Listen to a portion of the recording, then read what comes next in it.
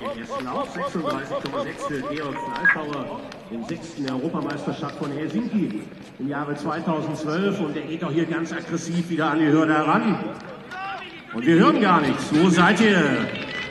Jawohl, wir sind hier beim Meeting der Gruppenstrecken und wir können auf die Balistrade klopfen, in die Hände klatschen und wir nehmen diesen Drive mit auch in die Kurve dort hinten. Georg Fleischhauer, er ist vorne, er wird dieses Rennen hier für sich entscheiden. Zweiter Lauf für ihn. Am Ende fehlt ein bisschen die Kraft, das sehen wir. Er läuft jetzt durch natürlich in Richtung Trainingslauf. Wir hoffen, dass er da eine gute Saison auch erwischt. Der deutsche Meister von 2010, 2012 von der EG Eintracht.